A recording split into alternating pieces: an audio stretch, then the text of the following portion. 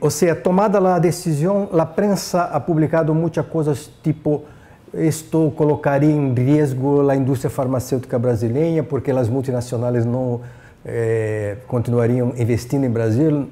A realidade é mostrado totalmente o contrário. A gente sabe que o Brasil é o sexto maior mercado farmacêutico do mundo, as empresas continuam aqui em peso, né, cada vez mais medicamentos chegando e, e sendo incorporados. Então, é, o Brasil, é, na verdade, é um foco de investimento, né? ele não é, é de nenhuma forma um, mercado que está sendo abandonado. As empresas estão no Brasil não porque o sistema é, patentário brasileiro seja maravilhoso. As empresas estão no Brasil porque o mercado brasileiro lhes interessa. Essa é a questão. Até esse momento não, não houve mudança nenhuma, mesmo com a licença compulsória para a Faverense em 2007. Então não houve mudança no quadro de depósito. A única coisa que aconteceu por causa da licença compulsória foram os milhões e milhões e milhões de reais economizados com a compra do medicamento genérico.